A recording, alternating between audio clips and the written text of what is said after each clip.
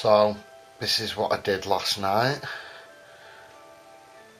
I took the suspension arms off and stripped it down each side.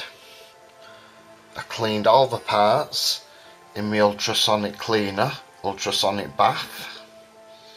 Then I re-greased them all and fitted them and I fitted the new shocks too.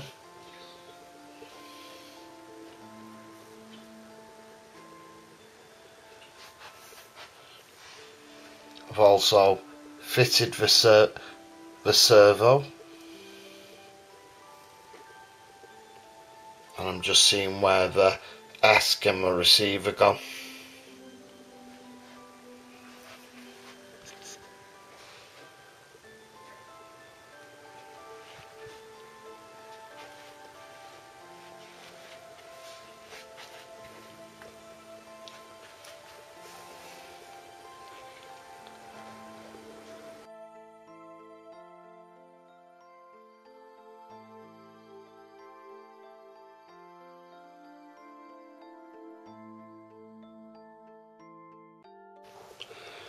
I've also give the wheels a clean and degrease and I've cleaned my shell body